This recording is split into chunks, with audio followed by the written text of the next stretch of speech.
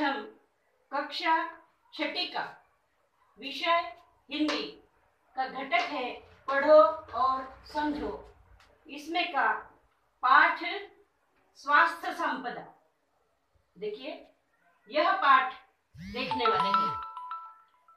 पाठ को पढ़ने से पहले हम इसके जो लेखक है, महात्मा गांधी जी, इनके बारे में थोड़ी बहुत जानकारी देंगे।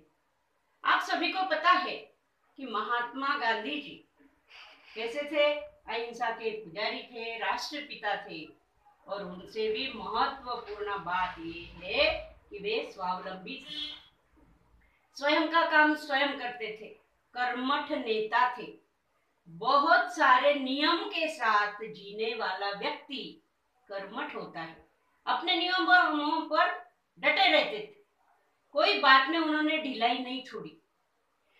सरकार से अंग्रेज़ों को समझाने के लिए उन्होंने कभी शस्त्र नहीं उठाए। अहिंसा का मार्ग अपनाकर उन्होंने अपने देश को आज़ादी दिलाई। और ऐसे महान व्यक्ति ने यह पाठ लिखा हुआ है। तो यह पाठ उन्होंने सीधा सीधा